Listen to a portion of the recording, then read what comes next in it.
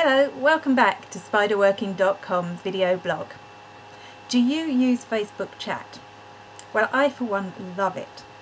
And I have to say that sometimes during the day I could easily be distracted by friends wanting to chat with me. On the other hand, it's kind of useful to be online for business contacts sometimes. Luckily, Facebook does allow you to be online and offline for chat for specific groups of people. And if you've got the new chat function, it's even easier to set this up.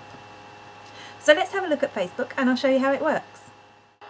In order to make this work, you will need to set up some friend lists. If you don't know how to do this, we've made a video on it before, so do follow the link below there here, and that'll show you how to do it.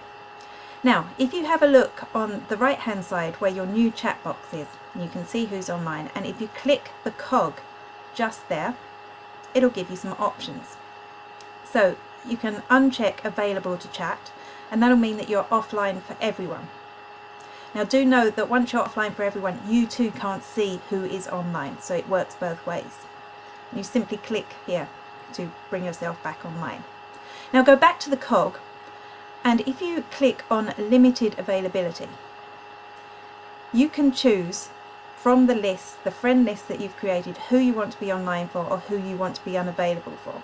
So I've created this list, don't want to chat with, just for the purposes of today. And if I select that list,